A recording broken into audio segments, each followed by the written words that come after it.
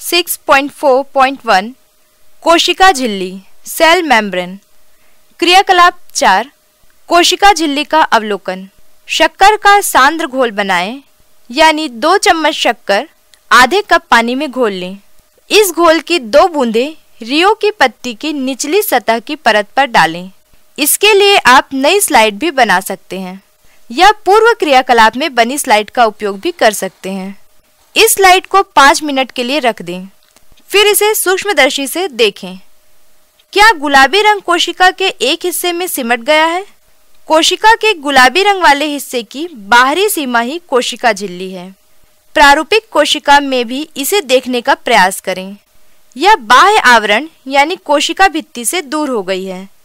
इस अवस्था को कोशिका द्रव्य कुंचन कहते हैं। कोशिका द्रव्य संकुचित कैसे हुआ होगा? इसका कारण कोशिका में से पानी निकल जाना है।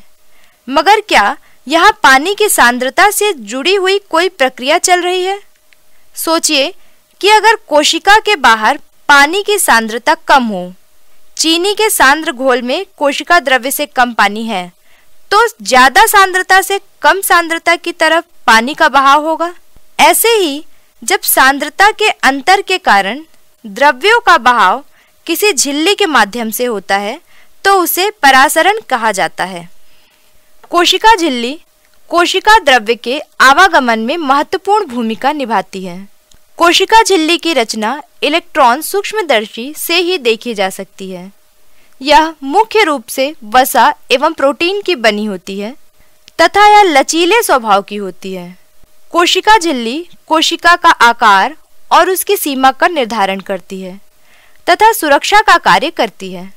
कोशिका झिल्ली से कोशिका के अंदर और बाहर के वातावरण में पदार्थों का चयनित रूप से आवागमन होता है। इसलिए इसे चयनात्मक पारगम्य झिल्ली कहते हैं। कोशिका झिल्ली चयनात्मक झिल्ली नहीं होती तो इसका कोशिका पर क्या प्रभाव पड़ता? क्या आप जानते हैं? प्रत्येक कोशिका झिल्ली पर ऐसे पहचान चिन्ह होते हैं, जिनकी मदद से कोशिकाएँ एक दूसरे को पहचानती हैं। इसका सजीवों के जीवन में बहुत महत्व है। जैसे कि जंतुओं में शुरुआती परिवर्धन के समय नई नई कोशिकाएँ बनती है और एक जगह से दूसरी जगह स्थानांतरित होती हैं।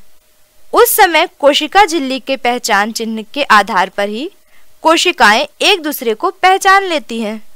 इस तरह से इनके बीच जुड़ाव बनता है और यही जुड़ाव उत्कों तथा अंगों के बनने में महत्वपूर्ण भूमिका निभाता है।